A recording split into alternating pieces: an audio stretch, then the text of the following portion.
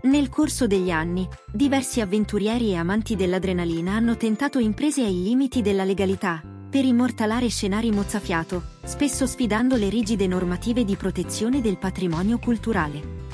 Tra queste imprese, una delle più audaci è senza dubbio la scalata delle antiche piramidi d'Egitto, monumenti che da millenni vegliano sul deserto.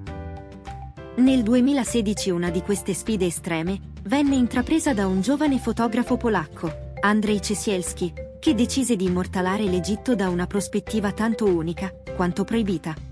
Noto per le sue imprese estreme, si recò in Egitto per mettere in pratica un progetto fotografico davvero ambizioso, scalare uno dei monumenti più iconici e antichi al mondo, la Grande Piramide di Giza. La scalata delle piramidi è illegale e severamente proibita dalle autorità egiziane, non solo per motivi di sicurezza, ma specialmente per la protezione del sito archeologico. Cesielski riuscì a eludere la sorveglianza e iniziò a salire sulla piramide, documentando l'impresa con una videocamera. La scalata richiese circa 8 minuti, durante i quali raggiunse la sommità e immortalò una vista mozzafiato del deserto e della città circostante. Dopo aver catturato diverse immagini e video, iniziò la discesa, il tutto senza essere fermato dalle autorità sul momento. Dopo l'impresa, le immagini e i video furono pubblicati online, provocando reazioni contrastanti. Da un lato, molti appassionati di fotografia e avventura lodarono il coraggio e le abilità di Cesielski. Dall'altro, le autorità egiziane e molti archeologi espressero sdegno per l'atto, definendolo irresponsabile e irrispettoso nei confronti di un patrimonio dell'umanità. Cesielski fu fermato dalla polizia egiziana poco dopo la scalata e rischiò un processo per aver violato le leggi di protezione dei beni egiziani. Tuttavia, fu successivamente rilasciato e tornò in patria, probabilmente a causa di pressioni diplomatiche. In Egitto, chiunque venga sorpreso a scalare la piramide di Giza, o altre piramidi, rischia conseguenze legali molto severe. Le leggi egiziane sono particolarmente rigide nel proteggere questi siti, considerati tra i più preziosi al mondo.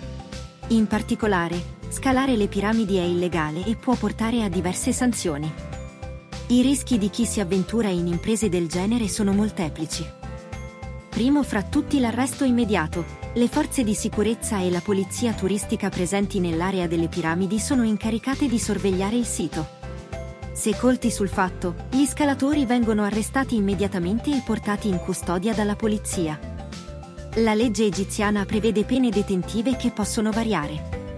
In alcuni casi, la detenzione può durare da alcune settimane fino a un massimo di otto anni, a seconda della gravità della violazione e della valutazione delle autorità giudiziarie. Oltre al rischio di detenzione, chi viola il divieto può essere soggetto a multe molto elevate. Queste possono raggiungere cifre considerevoli, poiché le autorità cercano di scoraggiare in modo netto qualsiasi comportamento che metta a rischio l'integrità del sito archeologico.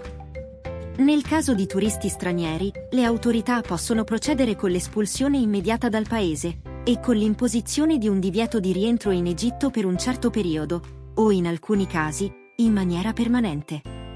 Se l'atto della scalata dovesse causare danni al monumento, come il distacco di pietre o graffi sulla superficie, le pene possono aggravarsi ulteriormente, con un rischio maggiore di reclusione prolungata e multe ancora più alte. L'atto di Cesielski solleva importanti domande etiche. Sebbene le immagini e i video catturati siano straordinari e abbiano attirato l'attenzione globale, l'impresa ha infranto le regole destinate a proteggere un monumento fragile e unico. La piramide, essendo uno dei siti archeologici più antichi e preziosi al mondo, richiede infatti un alto grado di tutela per preservarla per le generazioni future.